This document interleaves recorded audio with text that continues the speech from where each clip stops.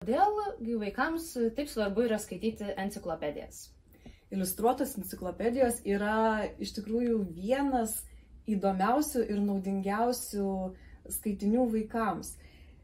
Ne tik todėl, kad jas galima valandų valandas žiūrinėti ir grožėtis ir sužinoti daug įdomių faktų, kuriais paskui galima pasidalinti šeimoje, darželėje, mokykloje ir kieme ir pasirodyti, va, kiek tu daug žinai, bet ir todėl, kad šios knygos tinka patiems įvairiausiems vaikams. Tokias enciklopedijas galima iš tikrųjų atsiversti bet kurioje vietoje, skaityti po gabaliuką, pačiam pasirinkti, kaip skaityti. Knyga Arkliai laukiniai ir prijaukinti yra labai gausiai iliustruota. Tai Rasa, e, kaip tu manai, ar tokiuose enciklopedijose yra svarbesnis tekstas ar iliustracijos?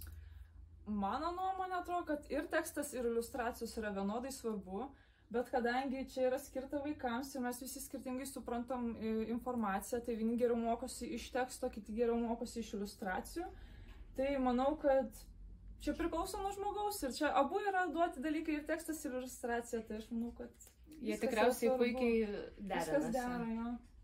Idre, kaip manai, ar ši knyga Arkliai laukiniai ir prijaukinti yra aktuali? Ar Lietuvoje yra daug vaikų, kurie domisi arkliais? E, Vaikai iš prigimties yra labai smalsus.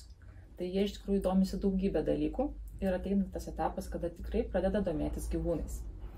Manau, kad arkliai yra tie gyvūnai, kurie anksčiau ar vėliau pradeda dominti vaikus.